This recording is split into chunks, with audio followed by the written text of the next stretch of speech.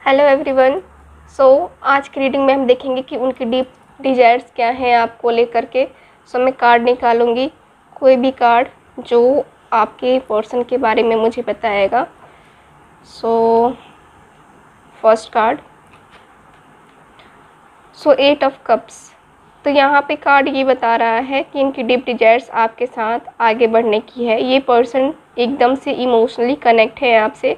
और इमोशनली ये पर्सन दूर नहीं जाना चाहते हैं, लेकिन इनके हालात जो है, इनकी सिचुएशन जो है, इनको कहीं दूर लेके जा रही है आपसे, ठीक है?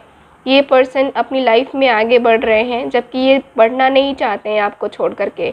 अभी भी इनके दिल में आपके लिए प्यार है इमोशंस है फीलिंग्स हैं डीपली फीलिंग्स हैं, और ये पर्सन चाहते हैं कि आपके साथ ही कंटिन्यू करें, लेकिन इनकी सिचुएशन कुछ इस तरीके से है कि इनको न चाहते हुए भी आगे बढ़ना पड़ रहा है, ठीक है?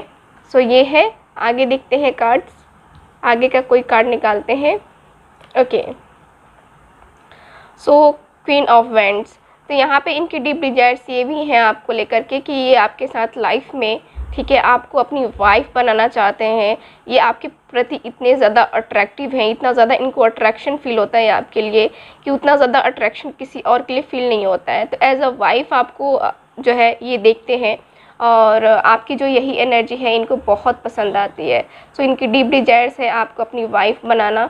लास्ट है किंग ऑफ़ पेंटिकल्स तो इनकी डीप डिजायर्स यही हैं आपको लेकर के। सबसे पहले तो ये लव इमोशंस फीलिंग्स ये सब तो हैं ही। और इसके साथ ही इनका ये भी है ये भी दिखता है कि ये पर्सन अपने करियर को अपने जॉब को है ना ये देखना चाहते हैं सबसे पहले और उसके बाद से आपको देखना चाहते हैं। तो इनकी डीप डिजायर्स यही है कि ज़िंदगी में ये आपको सारी खुशियाँ दे ठीक है? सो उसके लिए पैसे ज़रूरी हैं तो ये पैसे जो है आ, जो है कमाने के चक्कर में ज़्यादा लगे रहते हैं। सो ये है इनकी डीप डिजायर्स आपको लेकर से